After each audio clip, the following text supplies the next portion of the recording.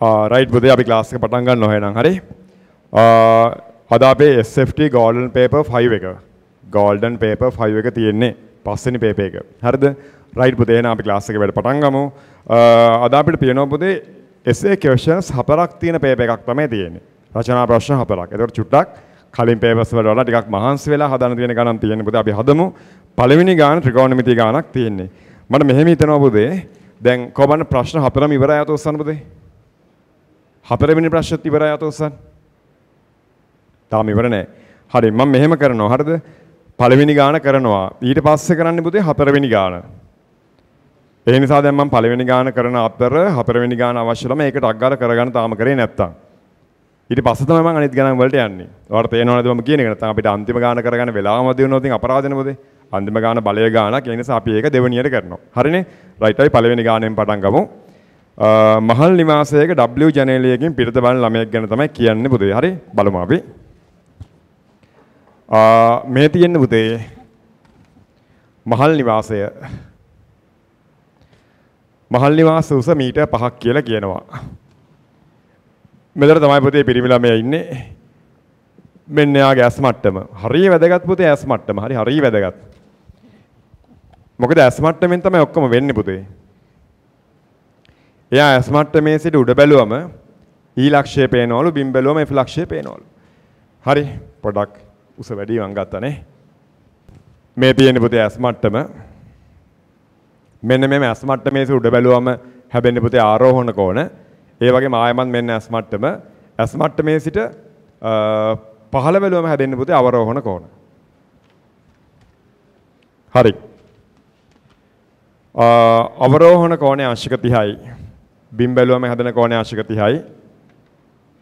උඩ බැලුවම හැදෙන ආරෝහණ කෝණය අංශක 45යි. ගාන කියනවා x ලක්ෂයේ සිට මීටර් 5ක් උඩින් තමයි ජනේලේ තියෙන්නේ කියලා. ඒ කියන්නේ පුතේ මෙතන ඉඳලා මීටර 5ක් උඩින් තමයි ජනේලේ තියෙන්නේ කියලා කියනවා. එහෙනම් මේ උස පුතේ මීටර් 5 නම් මේ උසත් කීයද? අනිවාර්යයෙන්ම මීටර් 5යි. හරි? මේක ඍජුකෝණී ත්‍රිකෝණයක්, මේකත් ඍජුකෝණී ත්‍රිකෝණයක්. එහෙනම් sin cos tan දාන්න පුළුවන්. දත්ත රූපේ ලකුණු කරන්නලු. හරිනේ අපි ඔක්කොම ලකුණු කරලා තියෙන්නේ. කොඩිගසත් මහල් නිවාසයත් අතර තිරස් දුර fx හොයන්න කියලා කියනවා. මෙන්න මේ කොඩිගසේ මෙතන ඉඳලා මෙතන දුර හොයන්න කියලා කියනවා. ඒ කියන්නේ පුතේ මොකද්ද හොයන්න කියන්නේ? Fx දුර තමයි හොයන්න කියන්නේ. මේක f නම් මේක x නම් fx දුර හොයන්න කියලා කියනවා. fx දුර. කොහොමද හොයන්නේ අපි? මේ බලන්න පුතේ. මෙතන කෝණේ ආංශක 30 නම් මෙතන කෝණෙත් කීයද? ආංශක 30යි. බලන්න ඒකාන්තර කෝණ මේ විදිහට. හරි? මේ කෝණේ ආංශක 30 නම් මේ කෝණෙත් ආංශක 30යි. දැන් මේක පුතේ ඍජුකෝණී ත්‍රිකෝණයක්. ආංශක 30 සම්මුඛ පාදය තමයි මේ තියෙන්නේ. ආංශක 30 සම්මුඛ පාදය තමයි මේ තියෙන්නේ. ආංශක 30 බද්ධ පාදය තමයි පුතේ fx කියලා කියන්නේ. එතකොට fx හොයන්න කිව්වම අපිට පාවිච්චි කරන්න පුළුවන් පුතේ sin cos tan තුනෙන් tan කියන එක පුතේ. බලන්න ආංශක 30ට සම්මුඛ පාදයේ මේක පුතේ බද්ධ පාදයේ මේක සම්මුඛ පාදයේ බෙදීම බද්ධ පාදය කියන්නේ සබ සබ කියන්නේ මොකද්ද පුතේ tan එහෙනම් අපි යූස් කරන්න ඕන ගාන හදන්න tan 30 කියන කතාවනේ. අපි ඒක දාන්නේ fxw ත්‍රිකෝණයට. Fxw ත්‍රිකෝණයට. රෝමී ලකම් දෙක. Fxw ත්‍රිකෝණයට දානවා පුතේ. මොකද්ද අපි දාන්නේ? Tan 30 සමානයි. සම්මුඛ පාදයේ 5යි බද්ධ පාදයේ තමයි fx tan 30 එකයට මූල 3යි හරි? tan 30 එකයට මූල 3යි දැන් fx ඉන්නේ යටනේ පුතේ එහෙනම් හරස් ගුණි දැන් fx උඩට එනවා. මූල 3 හරස් ගුණි දැන් උඩට එනවා. fx උඩට ඇවිල්ලා එකෙන් වැඩි කරාම fx සමානයි. හරි? fx ඇවිල්ලා එකෙන් වැඩි කරාම fx. ඒ වගේම පුතේ මූල 3 හරස් ගුණි දැන් උඩට ගිහිලා පහෙන් වැඩි වෙනවා. පහ වැඩි කිරීම මූල 3 මම ඔයාලට කිව්වා. මොකද්ද කිව්වේ? වර්ගමූල 3ට 1.7 ගන්න කියලා. වර්ගමූල 3ට 1.73 දෙක ගත්ත ළමයි ඉන්නවා නම් ඒගොල්ලන්ට 8.66ක් එන්නේ ඇති. හරිනේ? 8.66ක් එන්නේ ඇති. වර්ගමූල 3ට 1.7 ගත්ත අයට ඒක නම් හරිම සිම්පල් නිකම්ම වැඩි ගන්න පුළුවන්. 5 4ක් 4 35යි 8.5ක් එන්නේ ඇති. මම කිව්වේ වර්ගමූල 3ට 1.7 ගන්න කියලා නිසා 8.5 උත්තරේ අපි ගමු. ඒ විදිහට ගාන කතා කරගෙන යමු. හරි? fx කියන්නේ 8.5 මීටර. හරි? රයිට්. දැන් ඔයා හැදුවේ පුතේ වර්ගමූල 3ට 1.732 දාලා නම්. ඒක දැන් කපලා දාන්න එපා. ඒක වැරදි නෑනේ. නේ මොකද මම පස්සේනේ කිව්වේ වර්ගමූල 3ට 1.7 ගන්න කියලා. ඒතර මම ඒ කියද්දි සමහර ළමයි හදලා ඉවරයි. ඒ නිසා ඒගොල්ලෝ 1.732 දාලා හැදුවනම් මම උත්තරේ දැන් කිව්වා 8.66ක් එන්නේ. ඒක අවුලක් කරගන්න එපා පුතේ. හරි? රයිට්. රෝම ඉලක්කම් 1 2යි හරිනේ. රෝම ඉලක්කම් 3. කොඩි ගසේ උස හොයන්න කියලා කියනවා. පුතේ ඇත්තටම හොයන්න දෙයක් නැහැ. මෙන්න උත්තරේ පුතේ. මේ බලන්න. මෙතන කෝණේ අංශක 45 නම් ෂුවර් එකටම පුතේ මෙතන කෝණෙත් අංශක 45යි. මේක ඍජුකෝණී ත්‍රිකෝණයක් නම් මේක ඍජුකෝණී ත්‍රිකෝණයක් නම් පුතේ මේ කෝණය 45 නම් මේකත් අනිවාර්යෙන් 45යි. ඇයි ඒ? ඇයි ඉතින් 45යි 45යි 90යිනේ පුතේ. මේකත් 90යිනේ 180 වෙන විදිහටනේ. මේක 45යි නම් ෂුවර් එකට මේකත් 45යි. ඒ කියන්නේ පුතේ මේ කෝණ දෙක සමානයි. කෝණ දෙක සමානයි නම් සම්මුඛ පාද දෙකත් මොකද වෙන්නේ? සමානයි. දැන් අපි හොයාගත්ත fx දිග 8.5යි කියලා. හොඳට බලන්න හරි? උතර බලන්න හොඳට අහන් ඉන්න. මේක 8.5යි නම් එහෙනම් මේකත් 8.5යි. මේ දිග 8.5යි නම් ෂුවර් එකට මේ දිගත් 8.5යි.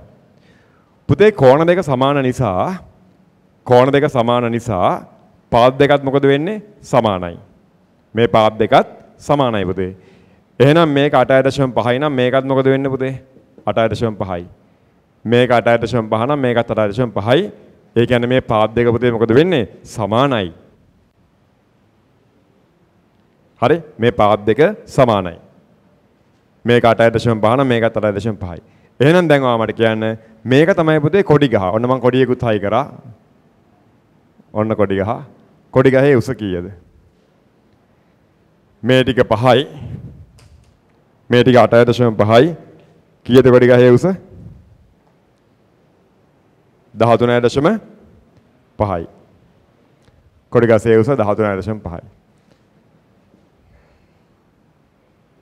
රෝමිලකන් තුන අපිට මෙහෙම ලියන්න පුළුවන් පොතේ මෙතන අකුරක් දාලා තියෙනවා නම් පේපර් එකේ අකුරක් දාලානේ අපි අකුරක් දාගමු. මොකක් හරි අකුරක් p කියලා ගමුකෝ.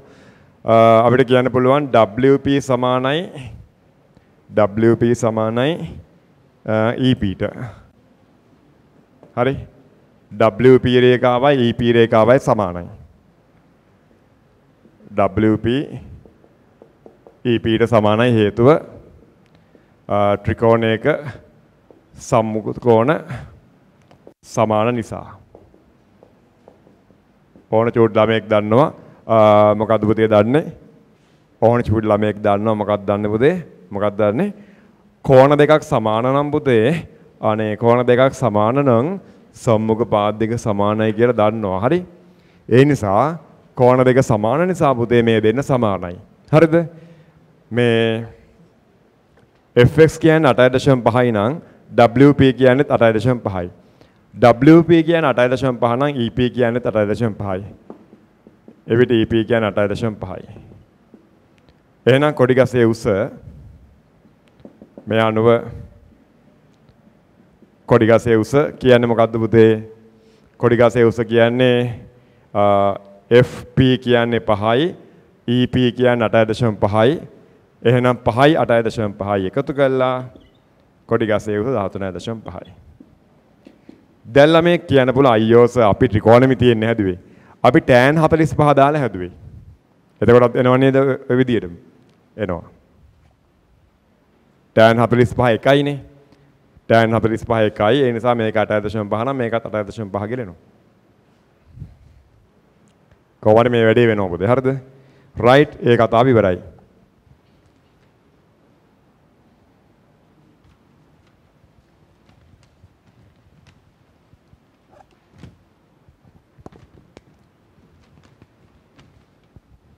ඊළඟට පුතේ හතරවෙනි ගාන බලය ගාන හදන්න යන්නේ අපි. ඔයා මේක හදන්න දුව හැබැයි මං හදලා වැඩක් නෑ පුතේ. එහෙම දෙයක්ත් තියෙනවා. හැදුවද කියන්නකෝ.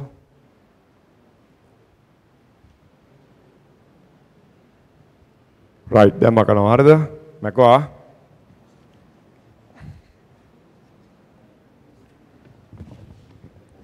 හරි පුතේ අපි එනම් බලය ගාන හදන්න යන්නේ ලෑස්ති වෙන්න හරිද? ඒක කියනවා පුතේ මුලින් ඉස්සෙල්ලම කියන කතාව තමයි පුතේ සුමඩ තලයක් උඩ වස්තුව තියෙනවා කියලා. හරි? සුමඩ තලයක් උඩ වස්තුව තියෙනවා කියලා කියනවා. ඊට පස්සේ ඊළඟ කොටස් හදද්දි කියනවා රළු තලයක් උඩ වස්තුව තියෙනවා කියලා. එහෙම එක එක විදියට එකම කතාව පුතේ කරකව කරකව අහනවා. හරි ලස්සන ගානක් මේක. හරි? බලමු අපි.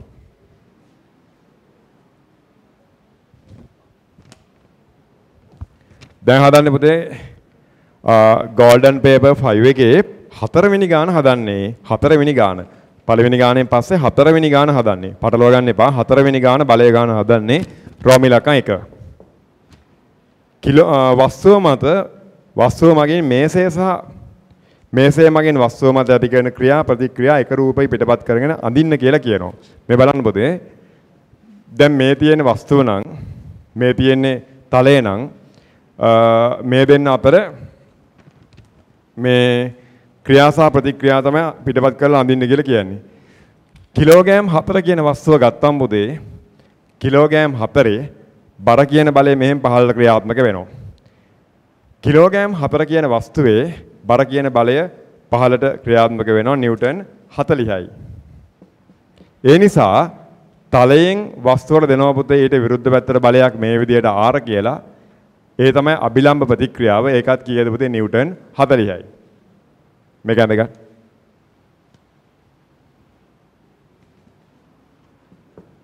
තගාල.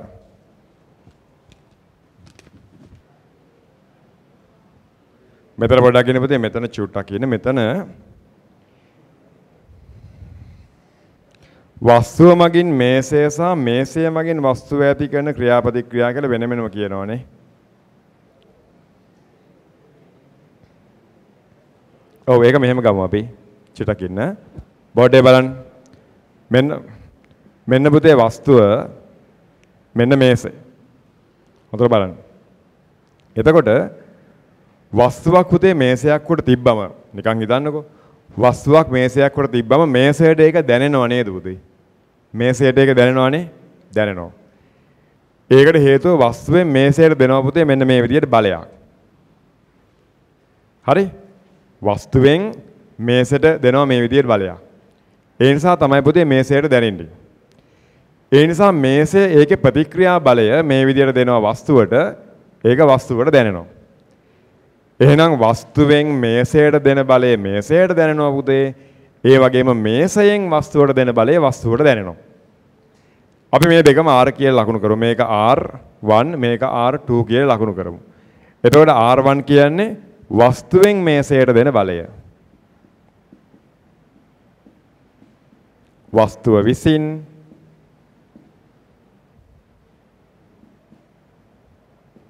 මේසය මත යොදන බලය පුතේ. හොඳට මං කියන එක අහගෙන ඉන්න කවුරුවත් කලබල වෙන්න එපා. ඔයාගේ ඔළුවේ මං දන්නවා ප්‍රශ්නයක් තියෙනවා මං ඒක නැති කරනවා බය නැතුව ඉන්න. බොරු ගන්නන්න බෑ නේද? හරිම දේව හරි ෆිසික්ස් උගන්වන්නේ. හරි? ඔයා දන්නවා අපේ ක්ලාස් එකේ බොරු උගන්වන්නේ නැහැ කියලා ඉතින් බලාගෙන ඉන්න. වස්තුවක් මේසයක් උඩ තිබ්බට පස්සේ පුතේ හරි? ඒ වස්තුවෙන් මේසයට දෙනවා මෙන්න මේ විදියට බලයක් පුතේ. ඒක අපි හැමෝටම තේරෙනවා පුතේ. ඒක ක්ලාස් වල ඉගෙන ගන්න ඕන දෙයක් නෙවෙයි. වස්තුවක් මේසයක් උඩින් තිබ්බම වස්තුවෙන් මේසයට බලයක් දෙනවා පහළට. මේ තියෙන්නේ ඒක. වස්තුවෙන් මේසයට දෙන එක. මම ලියලා තියෙන්නේ වස්තුව විසින් මේසයට දෙන බලය. ඒකට අපි ක්‍රියාව කියලා කියනවා. ක්‍රියාව කියලා කියනවා. නිව්ටන්ගේ තුන්වෙනි නියමයට අනුව පුතේ ඕනෑම ක්‍රියාවකට ප්‍රතික්‍රියාවක් තියෙනවා. එතකොට වස්තුවෙන් මේසයට දෙන බලය මේකනම් වස්තුවෙන් මේසයට දෙන බලය මේකනම් මේසයෙන් වස්තුවට දෙනවා පුතේ අනිවාර්යෙන් ප්‍රතික්‍රියා බලයක් මේ විදියට මේසයෙන් වස්තුවට දෙනවා පුතේ ප්‍රතික්‍රියා බලයක් මේ විදියට හරි ඒක තමයි මේසය විසින් වස්තුව මත යොදන මේසය විසින් වස්තුව මත යොදන බලය අපි ඒකට ප්‍රතික්‍රියා බලය කියලා කියනවා ප්‍රතික්‍රියාව කියලා කියනවා. හරි? හැමෝම රෝමී ඉලක්කම්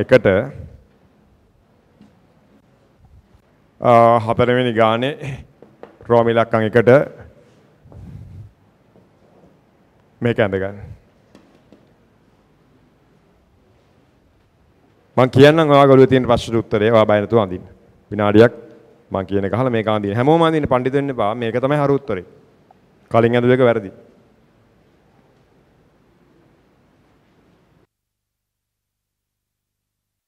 හරිනේ? හරි.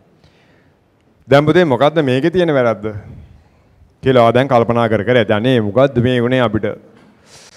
ගහෙන් එන්න මිනිහට ගොනා එන්න වගේ අපි ඉස්කෝලේ ඇරිලා මහන්සිලා පන්තියට ඇවිල්ලා බලේ පාඩමේ ගානක් හදන්න ගියා.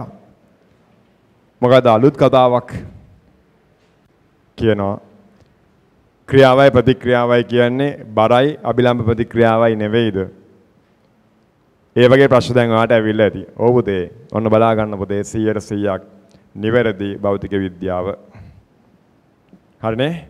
right. ඔන්න මේ පියන්නේ පුතේ වස්තුවේ බරනේ පුතේ. මේ පියන්නේ වස්තුවේ බර. හරි. මම දැන් ඔයාගේ මෙහෙම දෙයක් අහනවා. ඔයාට යාළුවෙක් පුතේ කම්බුලට බාරක් ගහනවා. ගොඩක් දුර යන්න ඕනේ නැහැ මේක ඉගෙන ගන්න හරි. ඔයාට යාළුවෙක් නැත්නම් ඔයා යාළුවෙට කම්බුල් පාරක් ගහනවා. එතකොට ඔයාගේ අතින් යාළුවට මොකද්ද දෙන්නේ? ක්‍රියාවනේ. ඔයාගේ අතින් යාළුවා කම්බුලට දෙන්නේ ක්‍රියාව. එතකොට යාළුවාගේ කම්බුලෙන් ඔයාගේ අතට හම්බෙන්නේ මොකද්ද? ප්‍රතික්‍රියාව. එතකොට බලන්න ක්‍රියාවයි ප්‍රතික්‍රියාවයි තියෙන්නේ ඔය දෙන්න අතර නේද? ක්‍රියාවයි ප්‍රතික්‍රියාවයි තියෙන ඔය දෙන්න අතර. ඔයාගෙන් යාළුවට යාළුවගෙන් කෝ කියන්නේ? අයියෝ බුම්මගෙන ඉන්නේ වාපුතේ. මටත් නිකන් එපා වෙනවනේ පුතේ. මොනවාද කෑව කියන්නකෝ? මොනවාද කෑව ගෑන් ළමයි? මැක්ඩොනල්ඩ් එකෙන් කෑවා? ආ. දන්නවනේ සල්ලි ගාවර වෙන්නේ හරි. හා කවන්නේ මේ කාලේදී ලෙඩ හදා ගන්න පුතේ හරි වැඩි කාලයක් ජීවත් වෙන්න හම්බෙන්නේ දැන් අවුරුදු 30 35 40 මිනිස්සු එක දිගට ලංකාව මැරෙනවා. සමහර කෙනා අර ඉන්ජෙක්ෂන් එක ගහම නිසා කියලා ඉන්ජෙක්ෂන් මගුලක් නෙවෙයි කන කෑම නිසා මැරෙන්නේ හරි. කන්නේ ඔක්කොම කෘත්‍රිම දේවල් නේ පුතේ මිනිස්සු. හා කියන්නේ මේ අහන්න අහන්න මේ එන පිටරටවලත් ඔය ඉන්ජෙක්ෂන් එක වේ. උනුත් මැරෙන්න බෑ. බලාගන්න මේ මොකද්ද පුතේ? මේ මේ මේ මේ මොකද්ද කිව්වේ? ඔයාගෙන් යාළුවට බලයක් දෙනවා. ඔයාගෙන් යාළුවට බලයක් දෙනවා. ඒකම යාළුවගෙන් ඔයාට බලයක් දෙනවා. ඔයාගෙන් යාළුවට කියන තුරු ටික ඔයාගෙන් යාළුවට යාළුවගෙන් ඔයාට. ආන්න මේකත් ඒ වගේ තමයි පුතේ. වස්තුව ඔයා මේසේ යාළුවා. දැන් හිතන්නකෝ වස්තුව ඔයා කියලා. වස්තුව ඔයා මේසේ තමයි යාළුවා. අන්න දැක්කනේ? දැක්කනේ? මේසයෙන් වස්තුවට වස්තුවෙන් මේසයට. ඔයාගෙන් යාළුවට යාළුවගෙන් ඔයාට. ඒ වගේ මේසයෙන් වස්තුවට දෙන බලය සහ වස්තුවෙන් මේසයට දෙන බලය. කතාව තේරුණාද? හරි. එතකොට බර කියන බලය කවුද දෙන්නේ පුතේ? බර කියන බලය දෙන්නේ පුතේ මේසය නෙවෙයි.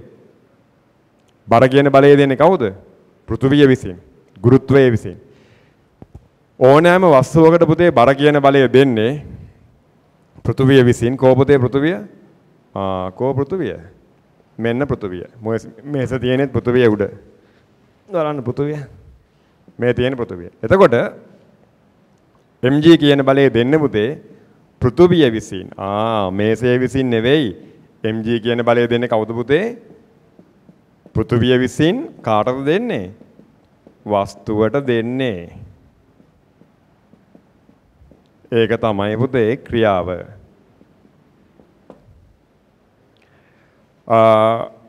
වස්තුව පල්ලෙහාට මෙහෙම ඇදලා ගන්න බලය තමයි පුතේ ගුරුත්වාකර්ෂණ බලය. වස්තුව පොළවට ඇදලා ගන්න කවුද? පොළවෙන් ඇදලා ගන්නේ. වස්තුව පොළවට ඇදලා පොළවෙන්. පොළව කියන්නේ පෘථුවියෙන්. එහෙනම් පෘථුවිය විසින් වස්තුවට දෙන බලය තමයි පුතේ මේක. එතකොට ඒක රියැක්ෂන් එක කොහෙද තියෙන්නේ? ඉතින් අර මං අර කියපු කතාව. ඔයාගෙන් යාළුවාට ඊළඟ එක එහෙනම් යාළුවගෙන් ඔයාට. ඔයාගෙන් යාළුවට නම් ඊළඟ එක යාළුවගෙන් ඔයාට. දැන් මේක පෘථුවියෙන් වස්තුවට දෙන්නේ මේ බලය. කියන්නේ මේ බලය කවුරු කවුද දෙන්නේ පුතේ?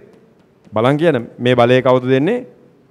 පෘථුවිය විසින් වස්තුවට. එහෙනම් ප්‍රතික්‍රියාව දෙන්නේ වස්තුව විසින් පෘථුවියට. කෝපුතේ පෘථුවිය. ඒ බලය ලකුණු කරන්න නම් පෘථුවිය ඕන. දැන් මෙතන බලය ලකුණු කරන්න නම් මේසේ ඉන්නවා. දෙකම ඉන්නවනේ. කෝ පෘථුවිය? ඕ පෘථුවිය මෙතන අඳින්න බෑ. ඒත් මම බොරුවට මෙන්න පෘථුවිය කියලා පෙන්වන්නම්. මේ තියෙන පුතේ පෘථුවියේ හරි මැද. පෘථුවියේ හරි මැද. පෘථුවියේ හරි මැද පෘථුවියේ ගුරුත්ව කේන්ද්‍රය තියෙනවා. අන්න එතනට තමයි බලය දෙන්නේ මේ විදිහට. මොකද්ද මේ බලය? වස්තුව විසින් එතන ඒ බලයත් කෙලිම mg-ට සමානයි. පහළට අදින බලය mg නම් මේකත් ඒකට සමානයිනේ පුතේ. කවුද මේ බලය දෙන්නේ? වස්තුව වස්තුව විසින් පෘථුවිය මත යොදන බලය තමයි මොකද්ද පුතේ? ප්‍රතික්‍රියාව. වස්තුවත් පොඩියට හිටියට එසේ මෙසේ බඩුවක් නෙවෙයි පුතේ හරි? මූත් මේ පොඩියට හිටියට එසේ මෙසේ බඩුවක් නෙවෙයි. පෘථුවියෙන් ඌ පහළට අදිනකොට ඌ මොකද කරන්නේ? ඌ පෘථුවිය අදින ඕගේ පැත්තට. පෘථුවිය ඌ අදිනවා ඌ පෘථුවිය අදිනවා. මේ පෘථුවිය පෘථුවිය අදිනවා එයාගේ පැත්තට. මේ තමයි හරි ෆිසික්ස් පුතේ. දැන් මේ වීඩියෝ එක YouTube එකටත් දානවා. හරි? මේවා බලන්න ඔය ගුරුවරු අලුත් ගුරුවරු මේව චුට්ටක් බලලා හරියට උගන්වන්න බොරු උගන්වන්න නැතුව ඔන්න අපි බර කියන බලය ක්‍රියාත්මක වෙන හැටි ක්‍රියාව සහ ප්‍රතික්‍රියාව වැඩ කරන විදිය පුතේ ලස්සනට ඉගෙනනවා. ඔන්න ඒක දැන් ඔයා තේරුම් ගත්තා. එහෙනම් හරියට මෙතන ක්‍රියාවයි ප්‍රතික්‍රියාවයි තේරුම් ගන්න මේකයි අරගයි පටලව ගන්න එපා. ඔයාට ඕන නම් මේක නෝට් කරගන්න මේක මේ වෙලාවේ අවශ්‍ය එකක් නෙවෙයි. මේක තමයි උත්තරේ. හරි මේක නිකම්මම කියලා දුන්නේ. හරි දැන් ලියන්න ඕනේ YouTube එකේ මේක දැම්මට පස්සේ ඔයාලට පුළුවන් ගිහිල්ලා ඔක නෝට් ඩවුන් කරගන්න පස්සේ හරි? රෝමි ලකන් දෙක. කිලෝග්‍රෑම් එකේ වස්තුව දෙක රූපයේ තැටියට දැමුව විට පද්ධතියේ ත්වරණය සොයන්න කියලා කියනවා පුතේ. රයිට් බලන්න ටක් ගාලා පුතේ. මේක පුතේ සුමට තලයක්. සුමට තලයේ උඩ මෙහෙම වස්තුවක් තියලා සුමට කප්පියක් උඩින් තන්තුව යවලා මෙතන තියෙනවා පුතේ තැටියක්. තැටිය උඩින් කිලෝග්‍රෑම් එකක වස්තුවක් තියෙනවා පුතේ. කිලෝගෑම් එකක් නම් බර කීයද? නිව්ටන් 10යි. හරිද? නිව්ටන් 10යි. මේක පුතේ සුමට තලයක් නිසා නිකම්ම මෙයා තල්ලු වෙලා යනවා. මෙතන නිව්ටන් 10ක වස්තුවක් තියපු ගමන් අපි හැමෝම දන්නවා තන්තුව ඇදෙනවා. තන්තුව ඇදලා තන්තුවේ ආතති බල ඇති වෙනවා. මෙතනත් තන්තුව ඇදෙනවා ආතති බල පුතේ ඇති වෙනවා. කප්පිය සුමට නිසා මේක T නම් පුතේ මේකත් T. එහෙනම් තන්තුව දිගේම ආතතිය T. මෙතන තියෙන කිලෝග්‍රෑම් 4ක වස්තුවක්. මෙයා කිලෝග්‍රෑම් 4ක් වුණත්, කිලෝග්‍රෑම් 40ක් වුණත්, කිලෝග්‍රෑම් 400ක් වුණත්, කිලෝග්‍රෑම් 40000ක් වුණත් කිසි ගැටලුවක් නැහැ. එයා නිකම්ම ලිස්සලා යනවා සුමට තලයක් උඩ තියපු නිසා. එයා කොච්චර ලොකු වුණත් අපිට අදාළ නැහැ. එයා සුමට තලයක් උඩ ඉන්නව නම් පුතේ ආයේ කනින් අල්ලලා ඇදගෙන යන්න පුළුවන්. එයා නිකම්ම ඇදිලා එනවා. ඇයි ඉන්නේ සුමට තලයක. කිසිම ඝර්ෂණ බලයක් නැහැ. නිකම්ම ඇදගෙන එන්න පුළුවන්. හරි? එහෙනම් මේක තමයි පුතේ රූපේ. මොකද්ද අපෙන් අහන්නේ? පද්ධතියේ තොරණය. බලන්න පුතේ මෙතනින් පඩියක් තියපු ගමන් 10යි නිව්ටන් කියලා බලයක් පහළට ඇති වෙනවා. ඒ නිසා පද්ධතියම මේ විදියට චලනය වෙනවා. මෙයා පහළට චලනය වෙද්දී මේ ටික අර පැත්තට චලනය වෙනවා. හරි මෙහෙම චලනය වෙනවා. එකටනේ පුතේ ඉන්නේ. ඒ නිසා මේ ත්වරණය හොයන්න නම් මොකද්ද කරන්න ඕන අපි? පද්ධතිය සඳහා පද්ධතිය සඳහා මොකක්ද දිගේද පුතේ? ඔයාගේ ඔව් තන්තුව දිගේ F සමානයි m දාන්න. F කියන්නේ මොකක්ද පුතේ? අසන්තුලන බලය. දැක්කනේ අසන්තුලන බලය. හරි? අසන්තුලන බලය. F කියන්නේ මොකක්ද පුතේ? අසන්තුලන බලය. හරි. බලන්න පුතේ. මුළු පද්ධතියම ඇදගෙන යන අසන්තුලන බලය නිකන් සාමාන්‍ය අවබෝධයෙන් කියන්න මොදේ ක්ලාස් එන්න ඕනේ නැහැ. නිකන් හිතලා කියන්නකෝ. මේ වගේ සුමර්ඩ මේසයක් උඩ වස්තුවක් තියලා තන්තුවකින් ගැට ගහලා පුතේ මෙතනින් අපි කිලෝග්‍රෑම් මේක වස්තුවක් තිබ්බම එයාගේ බර 10යි ඒ 10 නිසා නේද පුතේ පද්ධතියම චලනය වෙන්නේ. පිරිවිලමයි සමහර මේ ලෝකෙ නෙවෙයි ඉන්නේ.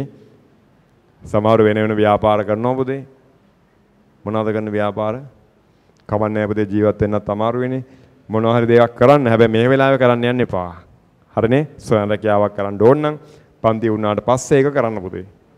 හරි? ඔය පොඩි පොඩි දේවල් සමහරු ඩ්‍රග්ස් විකුණනවා පුතේ. සමහරු අයිස්ක්‍රීම් විකුණනවා. තේරෙන කට්ටිය තේරුම් ගන්න පුතේ. ඉතින් මේ ක්ලාස් එක ඇතුළේ විකුණන්න යන්න එපා පුතේ.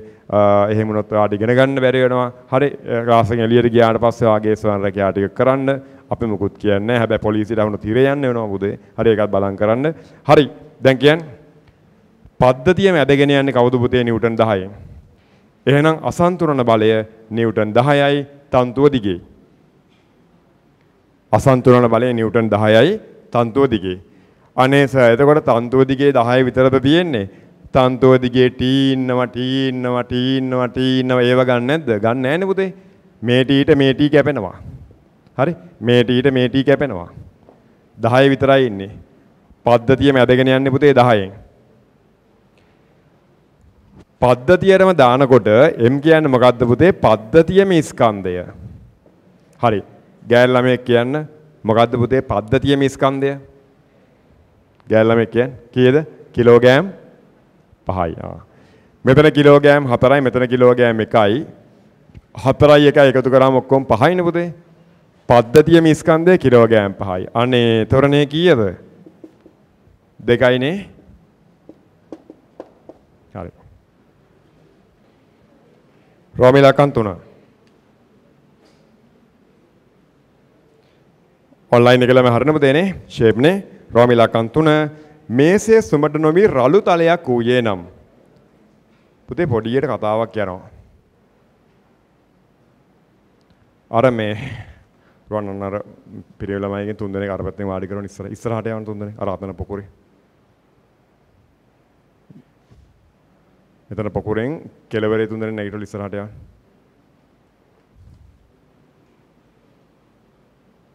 ඔයා යවන්නේ ඊට ඉස්සරහ එක්කනත් යන ඊට ඉස්සරහ ඉස්සරහට යවන්නේ ඒගොල්ලෝ. එක එක නෑ.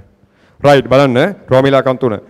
මේසේ සුමට නොවි රළු ඌයේ නම් මේසේ සුමට නොවි රළු ඌයේ නම් පද්ධතිය සමතුලිතව පවතී නම් තන්තුවේ ආතතිය හා ඝර්ෂණ බලය සොයන්න. අන්න කියනවා පුතේ ඊට පස්සේ මේක රළු මේසයක් ලෝ. කියන පුතේ රළු මේසයක් නම් මොනවාද ඇති වෙන්නේ? ඝර්ෂණ බල.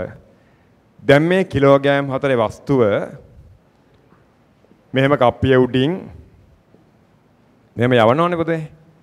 යවල මෙතන මෙතන මම තැටියක් අඳින්න නැතුව කෙලින්ම කිලෝග්‍රෑම් එක මෙහෙම අඳින්නද ලේසියට. කිලෝග්‍රෑම් එක මෙහෙම එල්ලුවාට පස්සේ ඒ කිලෝග්‍රෑම් එකේ බර නිව්ටන් 10යිනේ පුතේ. නිව්ටන් 10යි. කිලෝග්‍රෑම් එකේ බර නිව්ටන් 10යි. එතකොට නිව්ටන් 10 නිසා මේ තන්තුව ඇදෙනවා තන්තුවේ ආතතිය අපි T කියලා ගමු. මේ තන්තුවත් ඇදෙනවා ඒකේ ආතතියත් අපි T කියලා ගමු. දැන් මොකද්ද කියන්නේ පුතේ? පද්ධතිය සමතුලිතව තියෙනවලු. ඇයි සමතුලිතව තියෙන්නේ? T කියන බලයෙන් කිලෝග්‍රෑම් 4 අර පැත්තට අදිනකොට කිලෝග්‍රෑම් 4 අර පැත්තට අදිනකොට කලින් රෝම ඉලක්කමේ ඔයා දැක්කා නිකම්ම මෙයා අර පැත්තට ලිස්සලා ගියා. T කියන බලයෙන් කිලෝග්‍රෑම් 4 අදිනකොට නිකම්ම මෙයා අර පැත්තට ලිස්සලා ගියා. හේතුව මේක සුමට තලයක් නිසා පුතේ. ඒත් දැන් රළු තලයක් නිසා පුතේ කිලෝග්‍රෑම් හතර අර පැත්තට යන්න හදනකොට අනේ ඊට විරුද්ධ පැත්තට අදිනවා පුතේ කවුද අදින්නේ ඝර්ෂණ බලය ප්‍රතිරෝධී බලය වස්තුවක් යන්න හදන්නේ මොන පැත්තටද ඊට විරුද්ධ පැත්තට හැමතිස්සෙම ඇති වෙන බලය තමයි පුතේ ඝර්ෂණ බලය ඝර්ෂණ බලය දැන් මේගොල්ලෝ කියනවා මේ ඝර්ෂණ බලය නිසා මේ රළුභාවය නිසා පද්ධතිය සමතුලිතව ඉන්නවලු ඒ කියන්නේ එක එක්කත් හෙල්ලෙන්නේ නෑ කියලා කියන්න පුතේ. එක්කෙනෙක්වත් හෙල්ලෙන්නේ නෑ. එහෙනම් කිලෝග්‍රෑම් එක හෙල්ලෙන්නේ නෑ පුතේ. එහෙනම් කිලෝග්‍රෑම් එක ඉන්නේ මොන විදිහටද පුතේ? සමතුලිතව ඉන්නේ. අනේ සමතුලිතව ඉන්නවා නම් මොකද්ද අපි ලියන්නේ?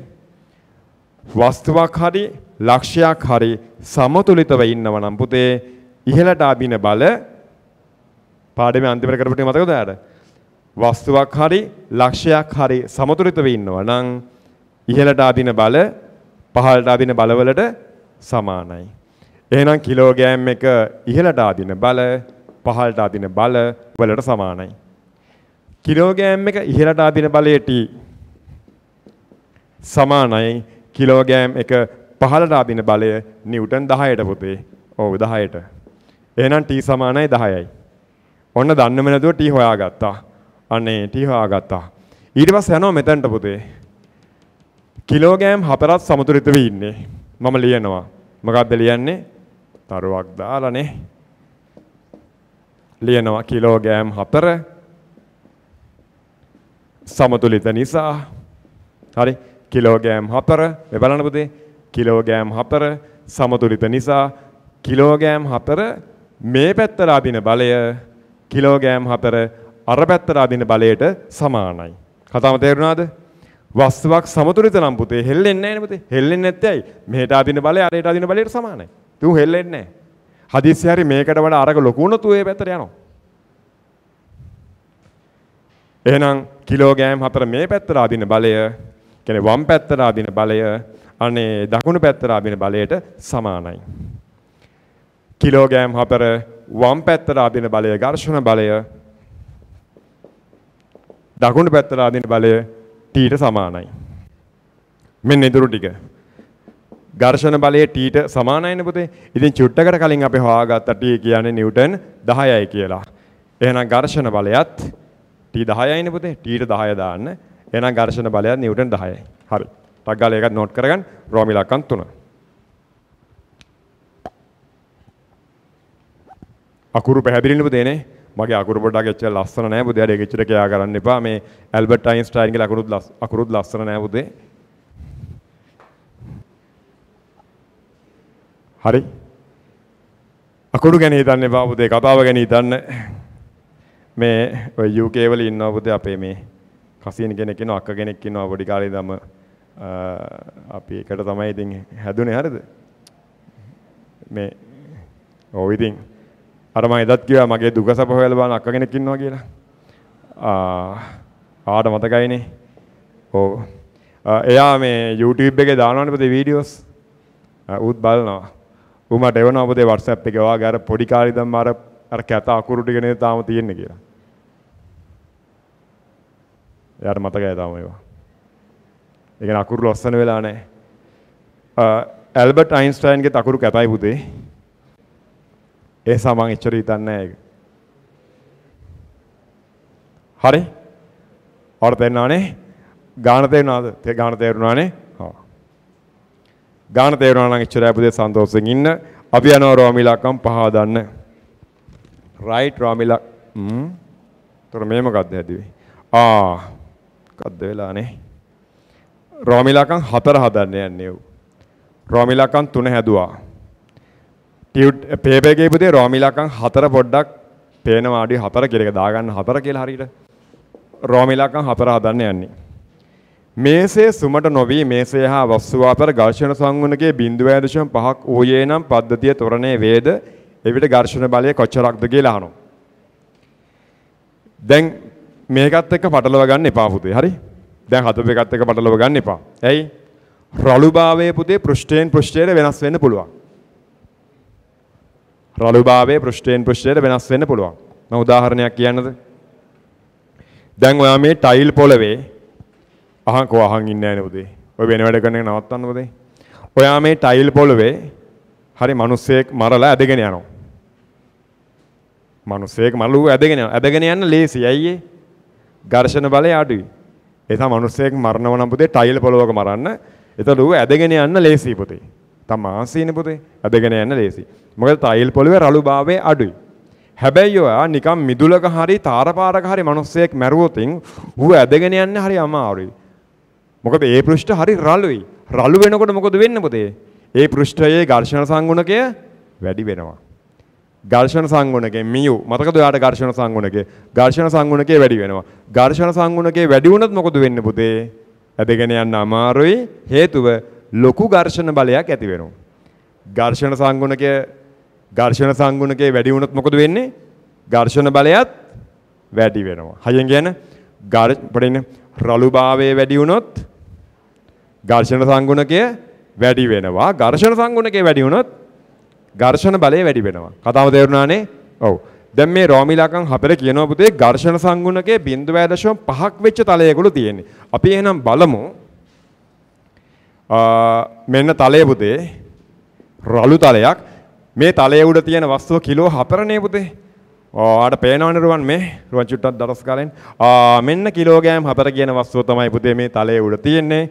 ඒතර ගානේ කිලෝග්‍රෑම් 4 කියන වස්තුව තමයි මේ තලයේ උඩ තියෙන්නේ. කිලෝග්‍රෑම් 4ක් නම් කිලෝග්‍රෑම් 4ක් නම් මේ වස්තුව අඳින්න කිලෝග්‍රෑම් 4ක් නම් මේ වස්තුව ඒ වස්තුව අර පැත්තට පුතේ අදිනකොට අර පැත්තට අදිනකොට ඊට විරුද්ධ පැත්තට අනිවාර්යෙන් ඝර්ෂණ බලයක් ඇති වෙනවා පුතේ. අන්න ඒ ඝර්ෂණ බලය අපි හොයාගන්න ඕන. කොහොමද ඝර්ෂණ බලය හොයන්නේ? දානවා මොකද්ද? F සමානයි mu r. ඝර්ෂණ සංගුණකයේ 0.5යිලු. r කීයද? ආයි නටන්න එපා පුතේ මේක පේපර් ක්ලාස් එක. කෙලින්ම කියන්නේ r කීයද? වස්තුවේ බර කීයද? වස්තුවේ ස්කන්ධය කිලෝග්‍රෑම් 4යි. එහෙනම් වස්තුවේ බර කීයද? නිව්ටන් 40යි. එහෙනම් R කීයද? නිව්ටන් 40යි. හරිනේ? R 40යි. එහෙනම් පුතේ අභිලම්බ ප්‍රතික්‍රියාව නිව්ටන් 40යි. එතකොට ඝර්ෂණ බලය කීයද? නිව්ටන් 20යි. එහෙනම් රෝම ඉලක්කම් 4 ඝර්ෂණ බලයට පුතේ නිව්ටන් 20ක් කරනවා. හා ඔන්න ඝර්ෂණ බලය හෙව්වා.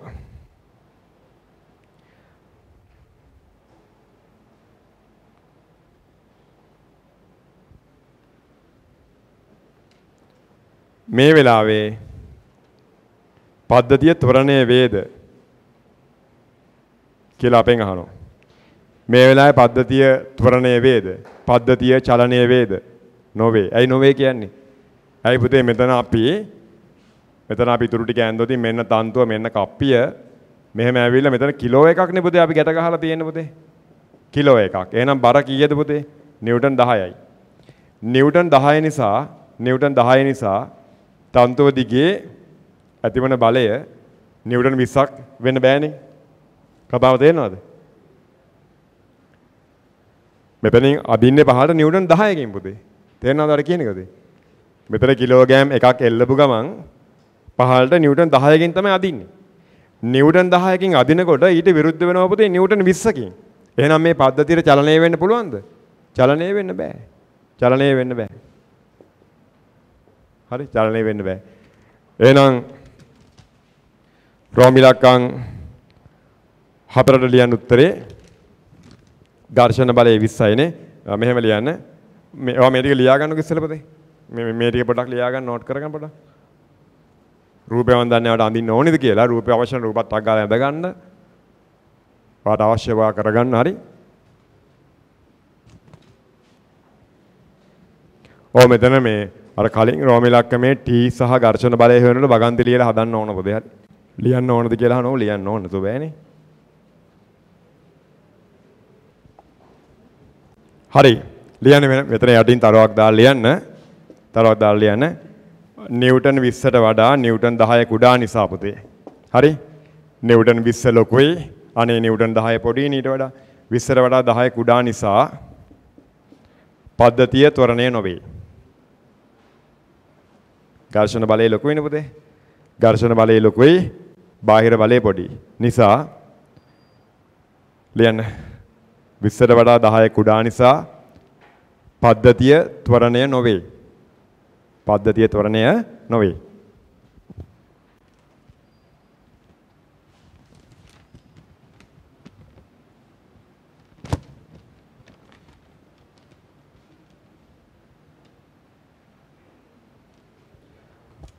රොමිලකම් පහේ අහනවා මෙහෙම එකක් පුතේ. හරිද?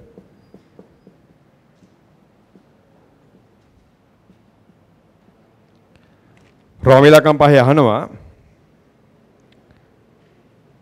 ඉස් මේ මෙතන මේ තැටිය පුතේ අපි කිලෝ එකක් නේද දිගටම තියාගෙන ගියේ. මෙතන තැටියක් තියෙනවට මතකනේ? තැටියක් තියෙන තැටියේ කිලෝ එකක් තමයි දිගටම අපි තියාගෙන ගියේ. කිලෝ එකක් තියන්නේ නැතුව එතන කිලෝ 4ක් එල්ලුවොත් මොකද අහනවා වෙන්නේ? කිලෝ 4ක් මෙතනින් තිබ්බොතින් දැන් කීයද පුතේ බර නිව්ටන් 40යි. හරි? මෙතන කිලෝ 4ක් එල්ලුවොතින් බර 40යි. ඝර්ෂණ බලය ඝර්ෂණ බලය අපි කලින් හෙව්වා. ගානක හොඳට කියවන්න හරි. රෝම ඉලක්කම් හතරට අදාළව තමයි මේක යන්නේ. එහෙනම් රෝම ඉලක්කම් හතරේදී අපි ඝර්ෂණ බලයක් හොයාගත නිව්ටන් 20ක් කියලා. එහෙනම් මේ වෙලාවෙත් ඝර්ෂණ බලය 20 කියලා ඕන ගන්න අපි. ඝර්ෂණ බලය 20 තමයි තියෙන්නේ හරි. රෝම ඉලක්කම් පහේදීත් අර රෝම ඉලක්කම් හතරේදී ගත්ත ඝර්ෂණ බලය තමයි තියෙන්නේ දිගටම. ගාන කියවලා බලන්න. දැන් මේ වගේ ඝර්ෂණ බලයක් තියෙද්දී මෙතනින් 40ක බරයක් දුන්නොත් අපි හැමෝටම තේරෙනවා මෙයා ලොකු නිසා පුතේ පද්ධතිය ත්වරණය වෙනවා. ඝර්ෂණ බලයට වඩා බාහිර බලය ලොකුයි ත්වරණය වෙනවා ත්වරණය වෙනවා.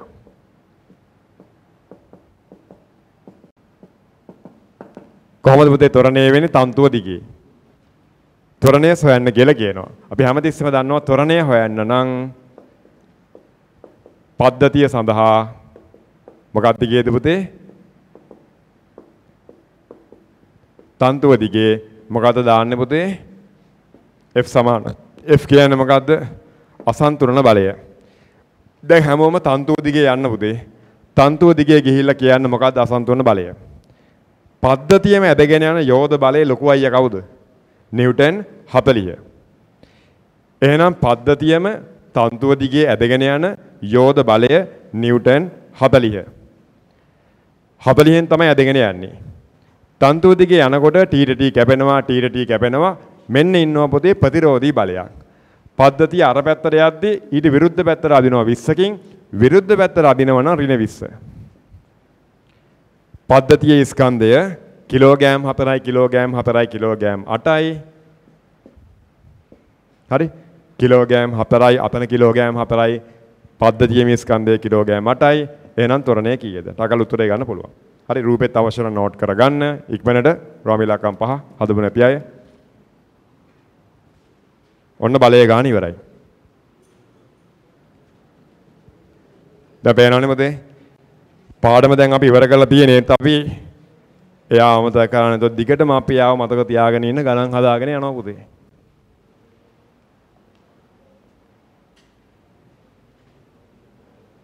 ගොඩාක් ගුරුරු කරන දේ තමයි පාඩම ඉවර කරනවා ඊට පස්සේ ඉවරයි පුතේ. ආ එක්සෑම් එක දවසේ තමයි පාඩම මතක් වෙන්නේ. එහෙනම් බෑ දිගට මේක අපි මතක් කර කර යන්න ඕනේ. අපි දිගටම පේපර්ස් ටික YouTube එකට දාන්නෙත් ඔයාට ආයේ පේපර් බලනකොට ඒ ගාන හදන විදිය බැරි නම් ආයේ YouTube එකට ගිහින් ලස්සන තියෙනවනේ පේපර් එකේ අංක තියෙනවා. YouTube එකෙත් මේ අංකෙන්ම Golden Paper 1 2 3 4 5 කියලා ගානට වීඩියෝස් ටික තියෙනවා. ඕනෙම ගානක් ගිහලා බලා ගන්න පුළුවන් හදන්නේ කොහොමද කියලා. හරි? මේ නිකන් ආවට ගියාට දෙන පේපර්ස් නෙවෙයි පුතේ. පිළිවෙලකට දෙන පේපර්ස් සිලබස් එකට අදාළව හරියට මේවා කරගෙන යමු. කීයද උත්තරය ආවේ? 40න් 20ක් අඩු කරාම 20යි සමානයි යට වැඩි කිරීම ඒ ඒ තනි කරන්න 20 වෙදීම 8 බෙදලා උත්තරේ දාගන්න හරි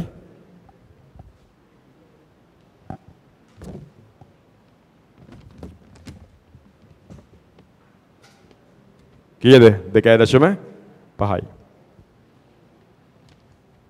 හරි ඊළඟට මොකද්ද හදන්නේ අපි දෙවෙනි ගානද තුන්වෙනි ගානද ඡන්දයක් තියමු අපි. ඉස්සෙල්ලම තුන්වෙනි ගාන හදන්න කියන අත උස්සන්න. දෙවෙනි ගාන හදන්න කියන අය. ආපෝ.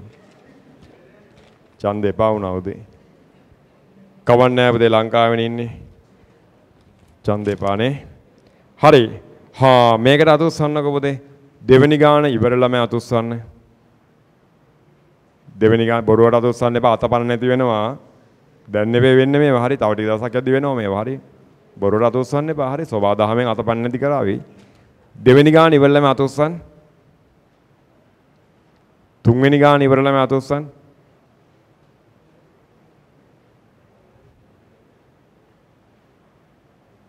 ඉවර නැති ළමයි ටිකුත් ඉන්නවනේ නැත්නම් අතපන් නැති වෙයි කියලා බාඩ තතිස් වෙන්නේ නැද්ද පුතේ? හදලා අත උස්සන්න නැතුව හිටියොත් ඒත් එහෙම වෙනවා පුතේ. හරි.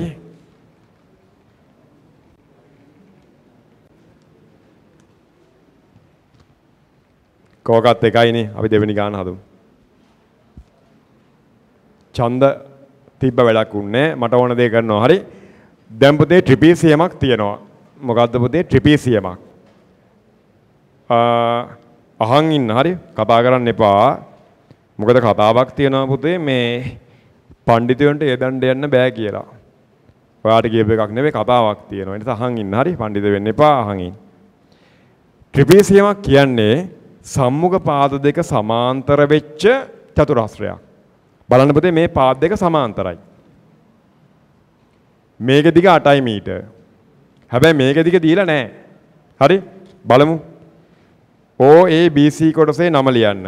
O A B C කියන්නේ කවුද කියලා අහනවා. ලියන්න උත්තරේ ට්‍රිපීසියම. ලියන්න රෝමිලාකයකට උත්තරේ ට්‍රිපීසියම.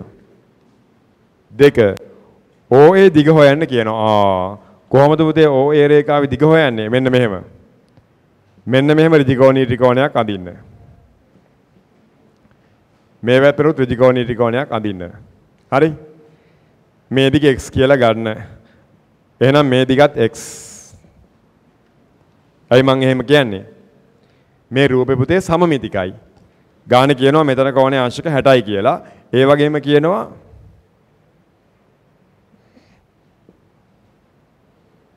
හරි මෙතන කෝණෙත් අංශක 60යි කියලා.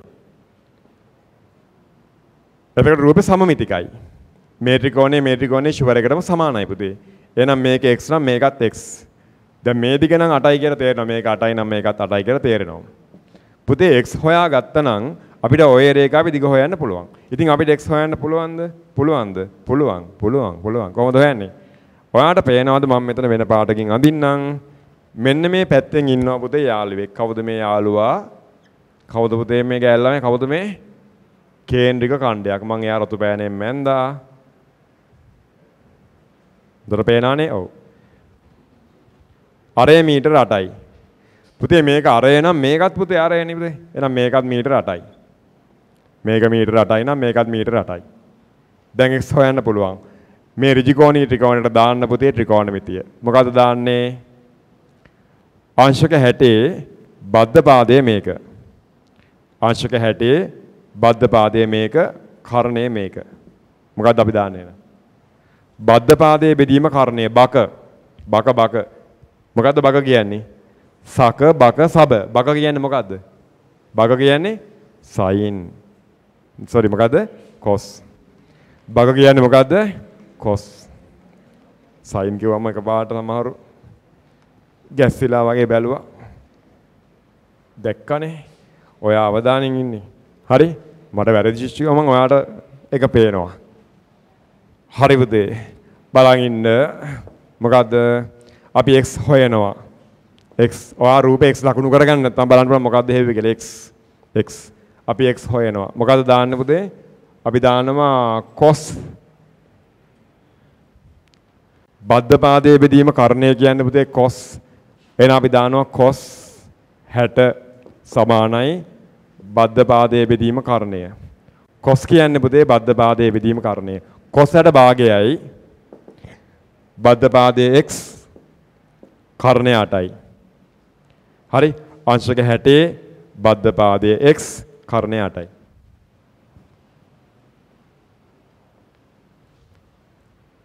කොසට භාගයයි x කියන්නේ කීයද?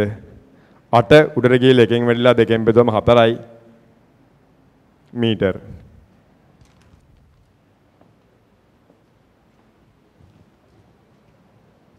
අවශ්‍යම නෝට් කරගන්න ඉක්මනට මම මේ පොඩ්ඩක් වෙලාව දිදී යන්න පුතේ. මේක අවශ්‍ය නම් මාත් එක්කම ලියාගෙන යන්න. ඉක්මන් කරන්න. හරි. දැන් උත්තරේ කියන්න. දැන් ඇති. x කියන්නේ 4යි මීටර. එහෙනම් මෙතනත් x කියන්නේ පුතේ 4යි මීටර. එහෙනම් දැන් කියන්න O A රේඛාවේ සම්පූර්ණ දිග කීයද? 4යි 8යි 4යි එකතු කරාම කීයද? මීටර් 16යි. එහෙනම් මේ අනුව O A රේඛාවේ දිග 4යි 8යි 4යි එකතු කරාම 16යි මීටර් කියලා එනවා. රෝම ඉලක්කම් 3. ත්‍රිපීසියමේ වර්ගඵලය සඳහා අවශ්‍ය අනිත් මිනුම මොකක්ද? පුතේ මේ ට්‍රිපීසියමේ වර්ගඵලය හොයන්න නම් අවශ්‍ය අනිත් මිනුම තමයි මොකද්ද? ලම්බ උස. මෙන්න මේ ලම්බ උස h. හරි ලියන්න රෝම ඉලක්කම් 3 අනිත් මිනුම කුමක්ද? ඒ ගණනය කරන්න. ලියන්න මෙහෙම සමාන්තර රේඛා දෙක අතර ලම්බ උස මිනුම මොකක්ද කියලා අහනවනේ පුතේ. ලියන්න සමාන්තර රේඛා දෙක අතර ලම්බ උස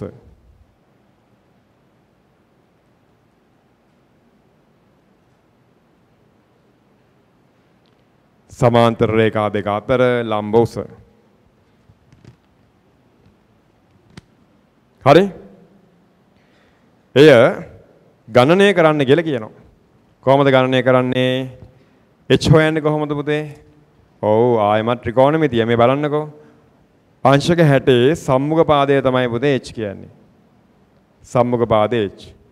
මොකෙන්ද හදන්නේ ඔයා? එක්කෝ sin 60 දාන්න පුළුවන් එක්ක tan 60 දාන්න පුළුවන්. කොබන් sin වලින් හදපුවා දුස්සන්. tan වලින් හදපුවා.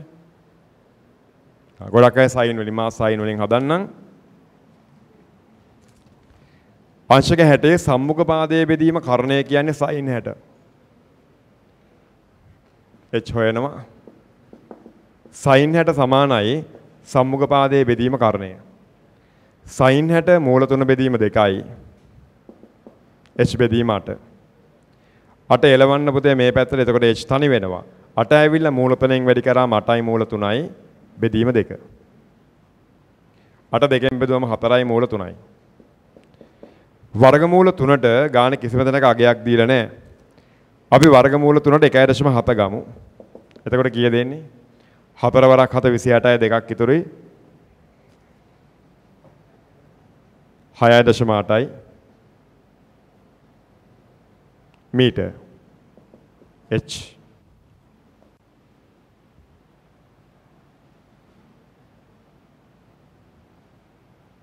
h කියන්නේ 6.8යි මීටර්.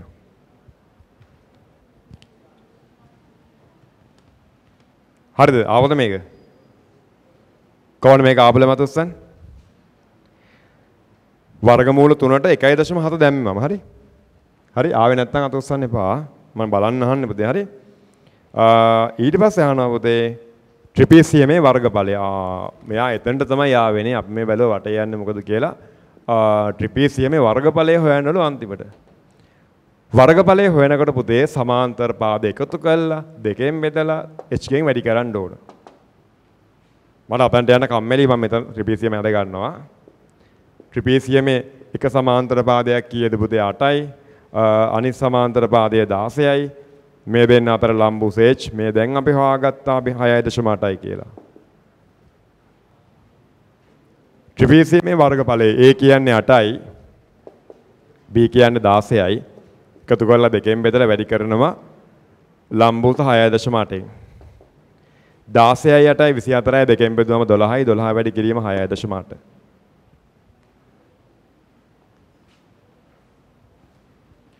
12 වැඩි කරාම 6.8න් 81.6යි. 81.6යි. එහෙනම් පුතේ ට්‍රිපීසියම වර්ගඵලය කොහොමද මේක ආපල මාතුස්සන් පුතේ? ෂේප්ද වැඩි? තොරණේ සම්පූර්ණ වර්ගඵලය අහනවා පුතේ. හරි මේක තමයි පුතේ තොරණ හරි දැන් ට්‍රිපීසියම වර්ගඵලය හරි පුතේ. තව දෙපැත්ත තියෙනවා කේන්ද්‍රික ඛණ්ඩ දෙකක්. ඒ දෙන්නගේ වර්ගඵලය හොයන්න ඕන. ඒ දෙන්න සමානයි පුතේ. එහෙනම් මොකද කරන්න ඕන? එක කේන්ද්‍රික ඛණ්ඩයක වර්ගඵලය හොයලා දෙකෙන් වැඩි කරනවා. තව ක්‍රමයක් තියෙනවා ඉතින් හරි කමන්නේ. ආ කේන්ද්‍රික ඛණ්ඩ දෙකේම වර්ගඵලය එකපාරට හොයනවා.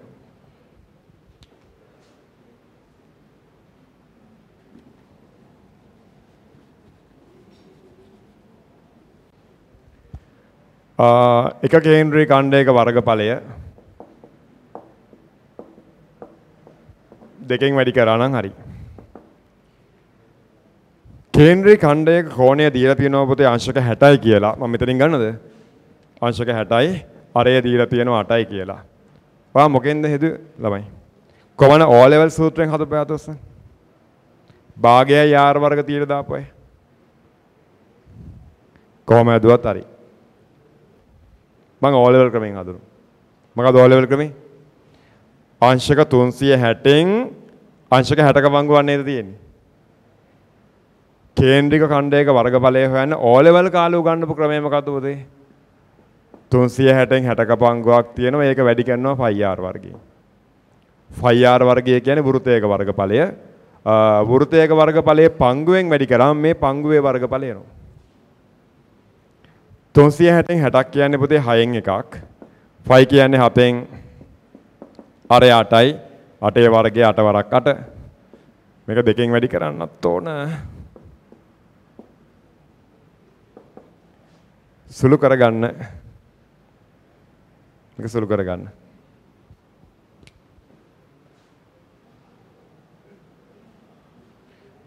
හැට හතයි දශම බිඳුව හතරක් ආවද උදේ? හැට හතයි දශම බිඳුව හතරක්. හැට හතයි දශම බිඳුව හතරයි වර්ග මීටර්. දැන් මුළු වර්ගඵලය අහනවා අපෙන්. එහෙනම් මේකට එකතු කරන්න ට්‍රිපීසියම.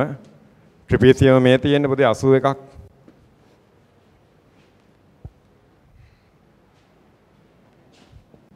තොරණේ මුළු වර්ගඵලය කියන්නේ මෙන්න මේ 67යි ඊට පස්සේ අපි කලින් ට්‍රිපීසියම වර්ගඵලයේ හෙව්ව 81යි එකතු කරලා උත්තරේ දාගන්න පොතේ. හරි? තොරණේ සෑම ධාරයකම වර්ණවත් පටියක් දානවලු. පටිවල දිග ආසන්න පූර්ණ සංඛ්‍යාවට සොයන්න කියනවා. එතකොට අපි මෙහෙම ගත්තොත් පුතේ මෙන්න මේ මෙන්න මේ විදිහට වටේ තමයි පටි දාන්නේ. මෙන්න මේ චාප දිග එහෙනම් හොයාගන්න. මේ චාපේ වටේනේ පුතේ තියෙන්නේ. මේ චාප කෑල්ල දිග අපි S කියලා ගමු. හරිද? මෙතනත් ඒ වගේම චාප කෑල්ලක් තියෙනවා. ඒතර ඒකේ දිගත් S නේ පුතේ. කොහොමද S හොයන්නේ? චාපයක දිග හොයන්නේ මම බෝඩ් එකේ දානවා මේ රෝමි ලකන් 6. චාප කෑලි දෙකක් තියෙනවා. චාප දෙකේම දිග හොයනවා. තයිසල් එක චාපයක දිග හොයමු. චාපයක දිග S සමානයි R තීටා සූත්‍රයට යන්න. S සමානයි R තීටා. අරය 8යි නේ පුතේ. අරය 8යි. රේඩියන් වලින් තීට කීයද? අංශක වලින් කෝණය 60යි කියලා අපි දන්නවා. ඒක රේඩියන් වලට කන්වර්ට් කරොත් 5 බෙදීම 3යි රේඩියන්. පේපර් ක්ලාස් එක ගන්න පුතේ. පේපර් ක්ලාස් එක මේ මට්ටමට ආගේ දැනුම තියෙනවා කියලා හිතන් ඉන්නේ මම. නේ උගන්වලා තියෙන්නේ පැලෙන්න. අංශක 60 රේඩියන් කරාම රේඩියන් 5 බෙදීම 3යි. ඔයාලට මේව බැරි නම් හොඳම ඔප්ෂන් එක තමයි පුතේ හරි. YouTube එකේ වීඩියෝ බල බල ඉඳලා පුතේ මේක කරන්න බෑ හරි. ඔය හතර වටේ එහෙම මෙහෙම පොඩි පොඩි කැලේ ටිකක් බල ඒ ලෙවල් ගොඩ දාන්න බෑ පුතේ. යාන්තම් S එකක් ගන්න සමහරට පුළුවන් වෙයි. ඔය හතර වටේ මගුල් බලලා. ඒත් පිළිවෙලට ක්ලාස් එකට ඇවිල්ලා වැඩ කරොත් තමයි ඔයාට AB එකක් ගන්න පුළුවන්. හරිනේ පිළිවෙලට වැඩ කරන ළමයාත් එක්ක හැරෙන්නවත් බැරි වෙයි අන්තිමට නැත්තම් ඔයාට. සමහර ළමයට තේරෙන්නේ නැහැ හරි. තේරෙන්නේ පස්සේ වැඩක් නැහැ එතකොට පුතේ හරි.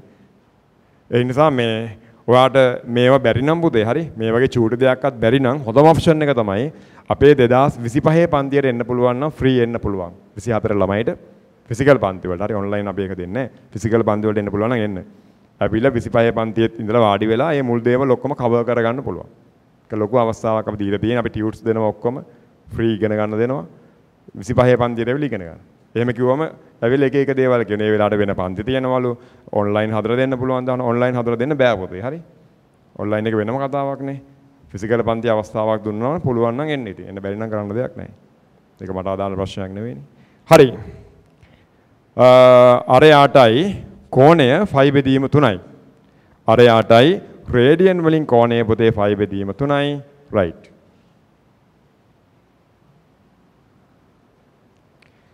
අපිට හැබැයි ඡාප දෙකේම දිග එකපාරට ගන්න දීපා නේද පුතේ? වෙලාවත් නාස්ති වෙනවනේ.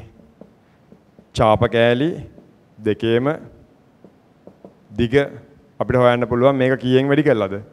දෙකෙන් වැඩි කළා. ඒතර ඡාප කෑලි දෙකේම දිග එන එකපාරට. ලියා ගන්නවකෝ පුතේ. ඔයා හදන්නකෝ ලියාගෙන දැන් මම හදනකම් බලන් ඉන්නේ තු. ෆයිටර් ගානේ මුකුත් දීලා නැහැ 7න් 22 ආදේශ කරන ෆයිටර්.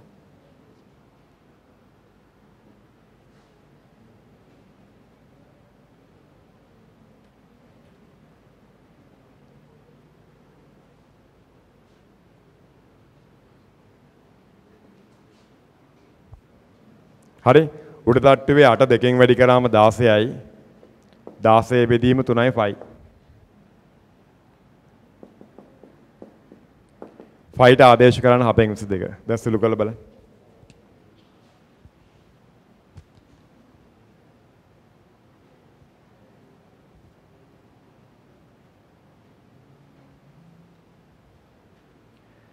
දාසයයි දශම හතයි හයයි මීටර්. කියලා චාප කෑලි දෙකේ දිගේ එනවා. දැන් අපිට පුළුවන් පුතේ මේ තොරණේ සම්පූර්ණ පරිමිතිය හොයන්න. තොරණේ වටේ දිග කියන්නේ පුතේ තොරණේ පරිමිතියනේ පුතේ. තොරණ වටේට වර්ණවත් පටියක් දානවා කියන්නේ ඒ පටිය දිග අහනවා කියන්නේ මොකද්ද ඔය අහන්නේ? තොරණේ පරිමිතිය. ආ නෑ නෑ සෝරි. තොරණේ සෑම ධාරයකම වර්ණවත් පටියක් යොදවනු ලැබේ. සෝරි. වටේ විතරක් නෙවෙයි. සෝරි. තොරණේ සෑම ධාරයකම වර්ණවත් පටියක් දානවලු. අපි එනම් බලමු.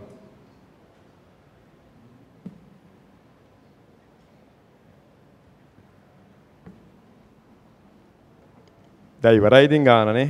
හා මේ චාප කෑල්ල දිග 16.7යි. මෙතනත් චාප කෑල්ල දිග 16.7යි. මේ දිග 8යි. මේ දිග 16යි. මේක 8යි. මේකත් 8යි. මේක 8යි. මේකත් 8යි. එන හැම කෑල්ලකම දිග දැන් දන්නවා පුතේ. පුළුවන් නේ එකතු කරගන්නනේ. මේ හැම එකක්ම එකතු කරන්න.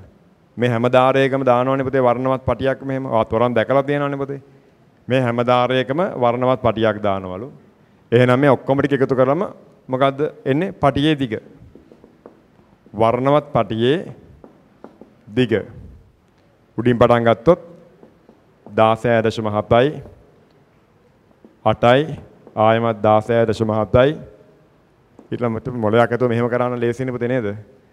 අටේ ඒව තියෙනවා 1යි 2යි 3යි 4යි 5ක්. ඒ කියන්නේ කීයද? 40යි. අටේ ඒව 5ක් 40යි. 40 ආවේ අටේ ඒව 5ක්. හරි? 1යි 2යි 3යි 4යි 5යි. හරි?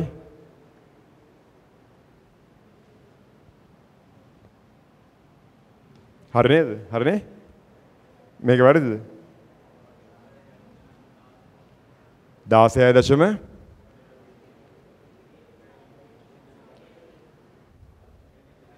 ආ සෝරි සෝරි. දෙකෙන් වැඩි කරපගෙන ලිව්වේ. ඒකනේ කියන්නේ. පිස්සුනේ නේ. හරි. 16.76 එකයි ලියන්න ඕන අපි. සෝරි ළමයි සෝරි ඒක පොඩි. මේ ගණන් ගන්න එපා. ඉතින් අර printing mistake එකක්. හරි. එහෙම දෝෂ වෙනවා. අද මුද්‍රණ දෝෂ. කිලි දන්නකෝ. මේ හරි. මොකක්ද පුතේ? මේ චාප කෑල්ලේ දිගයි මේ චාප කෑල්ලේ දිගයි දෙකම එකපාරනේ පුතේ ගත්තේ අපි. ඡාප කෑලි දෙකේම දිග තමයි 16.76 කියන්නේ. එහෙනම් එයා එකපාරක් ලිව්වම ඇති. ඊට පස්සේ 8 ඒව 5ක් 40යි 8 16යි එකතු කරලා අන්න හරි. දැන් උත්තරය ගන්න මීටර කීයද කියලා.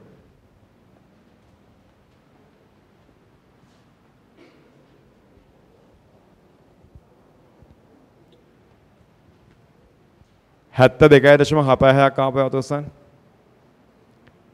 හැත්ත දෙකයි දශම හතයි හයක් හොඳයි මාත් එක්කම හදන්න හරි. ගෝල්ඩන් පේපර් 5 එකේ පස්වෙනි ගාන.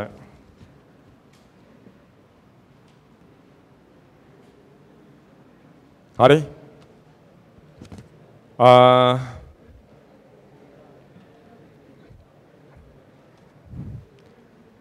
ළමයි හෙට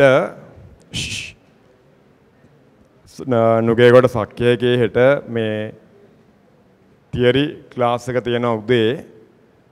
හරි? කීයට තියෙන උදේ? ඔව් නුගේකට සක්කේගේ තියරි ක්ලාස් එක තියෙන්නේ 10 මාරටනේ. සෙනසුරාදා උදේ 10 මාරට තියරි ක්ලාස් එක තියෙනවා 2024 SFT ළමයිට. එතකොට කාර්ය ශක්තිය හා ක්ෂමතාවයේ පාඩම යන්නේ. හරි? ඒක ටියුට් දෙකකින් අපි කවර් කරනවා කිසිම ළමයෙක් පන්ති කට් කරගන්න එපා. ෆිසිකල් එන අය. ඒ වගේම ඔන්ලයින් උත් අපි ඒක දෙනවා මේ වෙලාවේ අපේ ඔන්ලයින් වෙබ්සයිට් ඇප් හරහා අපේ ගෲප් වල ටෙලිග්‍රෑම් ගෲප් වල ඒ විස්තර ඔක්කොම තියෙනවා. හරි? මට අහගන්න මං කියන්නේ නැහැ පුතේ. ෆිසික්ස් පාඩම් ටික යන්නේ ඒ නිසා චුට්ටක්වත් කට් කරගන්න එපා පිළිවෙලට ක්ලාස් එක දෙන්න. ඒ වගේම හෙට පුතේ ඔයගලන්ට මේ අර ගිය ඉරිද පුතේ මගේ බර්ත්ඩේ එක තිබුණානේ පුතේ. ඔව් ගිය ඉරිද මගේ බර්ත්ඩේ එක තිබුණා. එතකොට රත්නපුර සිසුලුකේගේ තමයි බර්ත්ඩේ එක කරේ. ඒගොල්ලෝ ගොඩක් දේවල් කරලා තිබුණා. ඉතින් අනම්මනම් කරලා ඒගොල්ලන්ට කේක් දුන්නා. ඉතින් ඒක පුතේ දැන් හතර වටේ ආරංචි වෙලා අපේ ඔය මේ කාව්‍ය වගේ කට්ටිය ඒවා මේ ඕගලගේ පන්ති වලත් ඇවිල්ලා කියලා මේ එතකොට අදත් උදේ 23 රිවිෂන් එකේ ලොකු ඉතින් ෆන්ක්ෂන් එකක් මේගොල්ලෝ මෙතන අනම්මනම් කරලා කේක් ගෙනල්ලා මේ තිබුණා ඒ නිසා හෙට හැමෝටම පුතේ පොඩි මේ ට්‍රීට්මන්ට් එකක් දෙනවා ඒ කියන්නේ හෙට මේ කේක් දෙනවා පුතේ බර්ත්ඩේ එකට ඒ නිසා මේ හෙට කාර්යහා ශක්තිය ක්ෂමතාවය උගන්වන්නට අමතරව පුතේ ඕගලන්ට කේක් කන්නත් පුළුවන් පුතේ ඒ නිසා හෙට හැමෝම එන්න මම මේ ඒක කියන්න ගියේ එතකොට හවස හෝමගම ක්ලාස් එක ළමයිටත් දෙනවා පොතේ. ඒගොල්ලොත් මෙතන ඉන්නවා නම් ඒගොල්ලෝ බය වෙන්න එපා. අර සත් සතිය වගේ තමයි පොතේ. සත් සතිය වගේ තමයි සතියෙම බර්ත්ඩේ. හරි හැම හැම සති හැමදාම එක දිගටම හැම පන්දියම මේ සත් සතිය වගේ තමයි. ඉතින් හරි. ම්ම් හෙටින් ඉවරයි පොතේ ෆන්ක්ෂන් එක හරි. සතිය ඉවරයි හෙටින්. ගිය ඉරිද පටන් ගත්තේ. හරි. ඒ නිසා මේ පන්තියෙන් නැති යාළුවොත් පුතේ හෙට එක්කගෙන එන්න.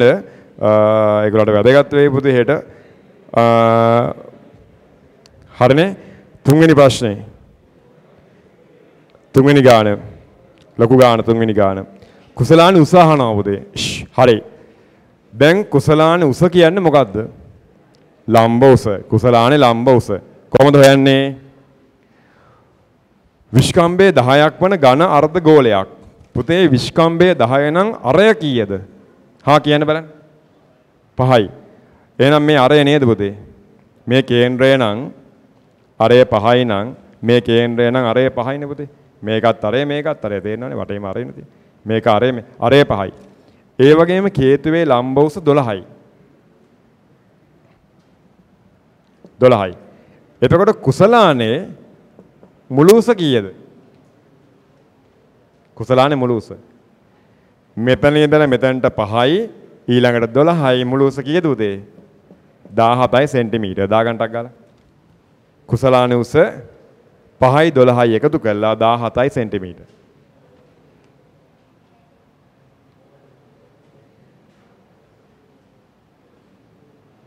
දොළහයි පහයි දාහතයි දෙක පතුලේ වර්ගඵලය අයියෝ මොකද්ද පුතේ ප්‍රශ්නේ පතුල කියන්නේ වෘත්තයක් 5r වර්ග. අන්න අන්න අන්න අන්න ඔන්න බටලව ගන්නවා පුතේ කලබලෙට 5ට 7න් 22 දාන්න එපා. ඇයි? මේ වෙලාවේ දීලා තියෙනවා පුතේ 5ට 5 සමානයි 3.14 ගන්න කියලා. එතකොට ඒකම අරන් හදන්න ඕන. මොකද මාකින් එක එන්නේ මේ විදිහට. 7න් 22 දැම්මොත් චූටි චූටි වෙනස්කම් වෙන්න පුළුවන්. 22 7න් බෙදුවම හරියටම 3.14 නෙවෙයි. දශම කැඩි කැඩි යනවා ටිකක්.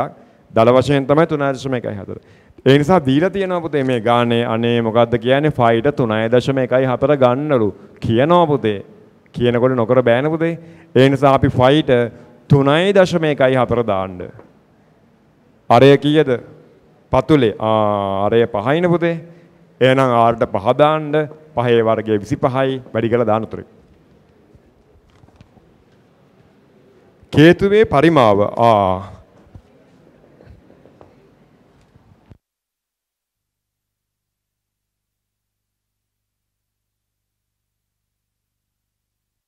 කේතුවේ පුතේ පරිමාව කේතුවේ පරිමාව අහනවා කෝන් එකේ පරිමාව. අනේ කේතුවක පරිමාව හොයන සූත්‍රය මොකද්ද? කියන්න පුතේ 3න් 1යි 5r වර්ග h. කේතුවක වොලියුම් එක හොයන සූත්‍රය. 3න් 1යි 5r වර්ග h. 3න් 1යි 5r වර්ග h. 3න් 1යි 5 කියන්නේ 3.14යි. අරය 5යිනේ පුතේ. පහේ වර්ගය වතාවක් h කියන්නේ පුතේ කේතුවේ ලම්බෝස. h කියන්නේ පුතේ කේතුවේ ලම්බෝස. පරිමාව හොයනකොට ගන්නේ කේතුවේ අරය සහ කේතුවේ ලම්බෝස. කීයද h? කේතුවේ ලම්බෝස 12යි. දාන්න එක h කියන්නේ 12යි. සුළු කරලා ගන්න. හරි? පරිමාව නම් පුතේ ඝන සෙන්ටිමීටර්. මාත් එක්කම හදන්න ආයේ වෙනම වෙලාවක් නෑ පුතේ. වරදුනා නම් මාත් එක්කම හදන්න. මේවා වරදිනවා කියන්නේ පුතේ ඔයාගේ තත්ත්වේ ඕ අර මේ හරිම හොඳ නැත් නැනක තියෙන. හරි? ඒ නිසා 2025 පන්තියට එන්න. පුළුවන් හැමෝම. මේවා හදන්න බැරි නම් අනිවාර්යෙන් එන්න පුතේ හරි. මේවා හදන්න බැරි නම් මේවා අපේ 25 ළමයි උඩ මේ ඩෙස් එක උඩ ඉඳන් හදන්න හරි. මාරලේසි. මේ දවස්වල මේ පාඩම යන්නේ. ඔන්න මේ සතිය පටන් ගන්නවා මේ මට මතකද පරිමාව. පරිමාව ටියුට් එක. හෙට පටන් ගන්නවා හෙට. 2025 SFT ක්ලාස් එක නුගේගොඩ තියෙන්න පුතේ. හෙට හවස එකට. පුළුවන් හැමෝම එන්න. හෝමගමට ළඟ ළමයි සුසිප් ආයතනයේ තියෙන්නේ අගහරුවාද 3යි කාලට. අගහරුවාද හවස. නුගේගොඩ ළමයිට සෙනසුරාදා හවස 1ට හෝමගම ළමයිට අඟහරුවාද හවස 3ට 2025 හරි පුතේ රෝමිලාකම් 4 කේතුවේ වක්‍ර පෘෂ්ඨ වර්ග බලය කේතුවකට තියෙනවා පුතේ මෙන්න මෙහෙම අත ගන්නකොට අත වක්‍රව ගමන් කරන වක්‍ර පෘෂ්ඨයක් කෝන් එකකට තියෙනවා වක්‍ර පෘෂ්ඨයක් ඔයාගේ ඔළුව අත ගන්නකොට යාළුවයි කම්බුල අත ගන්නකොට අත වක්‍රව ගමන් කරන්න පුතේ. ඒවට කියනවා වක්‍ර පෘෂ්ඨ කියලා. හරි? ඒ වගේ මේ කෝන් එකේ තියෙනවා පුතේ මෙහෙම වක්‍ර පෘෂ්ඨයක්.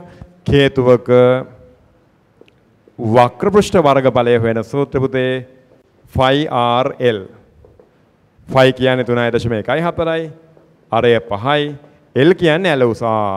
ඇලවුස ගාන දීලා නැහැ ඇලවුස හොයා ගන්න ඕන රුවන් මෙතනට අල්ලන්නකෝ.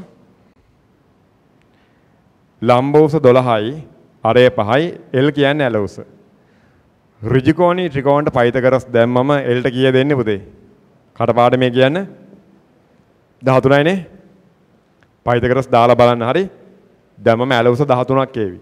පුළුවන් ද දාන්න ඔයාට? අරකට පයිතගරස් දැම්මම ඇලවුස 13ක් එනවා. එහෙනම් ඇලවුස 13යි වැඩි කරලා බලන්න වර්ගඵලය නිසා වර්ග සෙන්ටිමීටර්. කුසල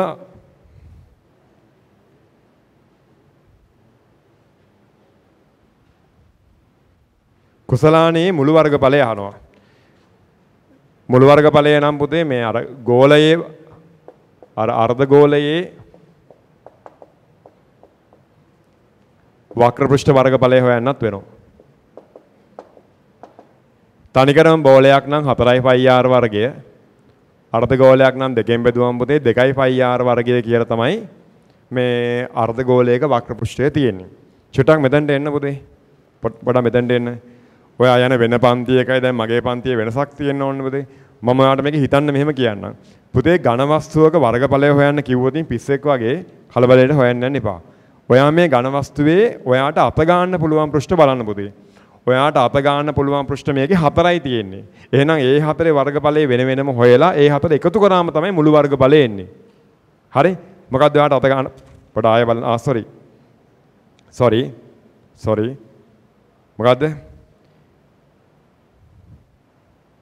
මෙහි පතුල සහ කුසලානේක ආ නෑ සොරි නෙමෙයි හරි. ඔයා බලන්න මම මේ සොර සොරි ගන්න මොකද කියලා. වරහන් ඇතුලේ කියනවා. මොකද්ද? දැන් සාමාන්‍ය කුසලානේක පුතේ මේක කුහරයක් නේ තියෙන්නේ. නේ? මේක කුහරයක් නේ පුතේ.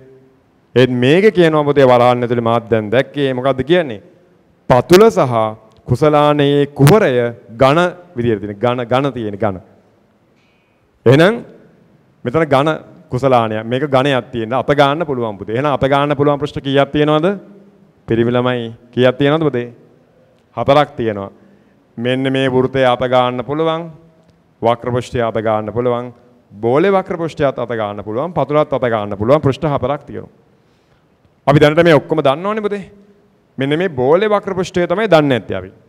අර්ධ ගෝලේ වක්‍ර පෘෂ්ඨය. අපි එන එකත් අත ගාලා ආවේ දැන්. අර්ධ ගෝලේ වක්‍රපෘෂ්ඨය අප ගෑවා මෙන්න වර්ගඵලය හොයනවා 2 2 කියන්නේ 2යි 5 කියන්නේ 3.1යි 4යි අරය 5යිනේ පුතේ 5 වර්ගයේ 25යි උත්තරය ගන්න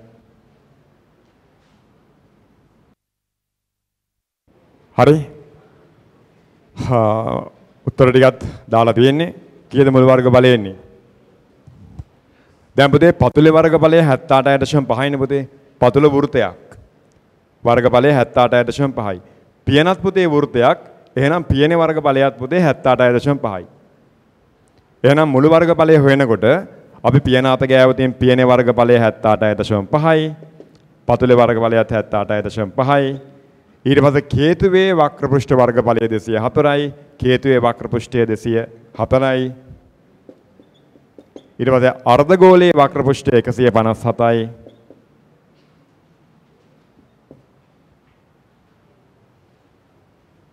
කීයද උත්තරය ආවේ 500 500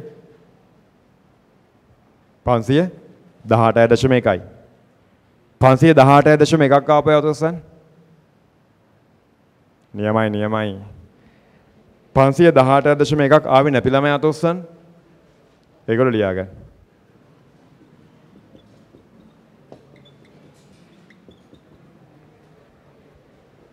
උත්තරේ හරිනේ. හැමෝටම එන්න බෑනේ ඒකත් උත්තරේ වැරදි නන්නේ වැරදි නම් එක එක්කෙනාට එක එක උත්තර එනවනේ.